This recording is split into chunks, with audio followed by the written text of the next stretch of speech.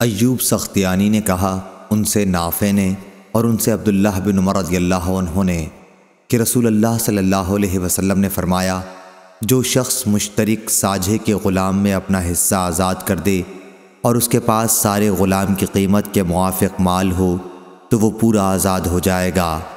اگر اتنا مال نہ ہو تو بس جتنا حصہ اس کا تھا، اتنا ہی آزاد ہوا۔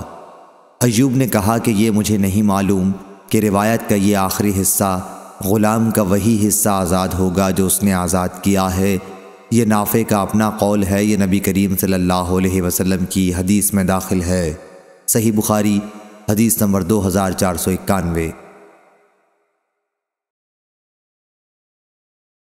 سعید بن نبی عروبہ نے خبر دی، انہیں قطادہ نے، انہیں نظر بن انس نے، انہیں بشیر بن نحیق نے اور انہیں ابو حریرہ رضی اللہ عنہ نے۔